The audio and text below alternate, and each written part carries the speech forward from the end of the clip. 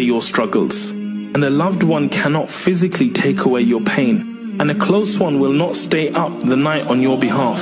So look after yourself, protect yourself, nurture yourself, and don't give life's events more than what they are really worth. Know for certain that when you break, no one will heal you except you.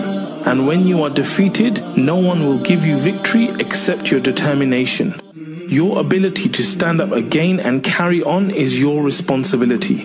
Do not look for your self worth in the eyes of the people. Look for your worth from within your conscience. If your conscience is at peace, then you will ascend high. And if you truly know yourself, then what is said about you won't harm you. Do not carry the worries of this life because this is for Allah. And do not carry the worries of sustenance because it is from Allah. And do not carry the anxiety for the future because it is in the hands of Allah. Carry one thing how to please Allah.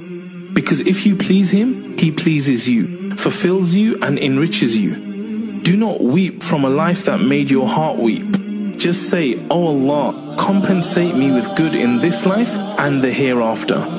Sadness departs with a sajda. Happiness comes with a sincere dua. Allah does not forget the good you do, nor does He forget the good you did to others and the pain you relieved them from.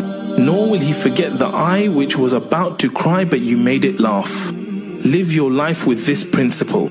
Be good even if you don't receive good, not for others' sake, but because Allah loves those who do good.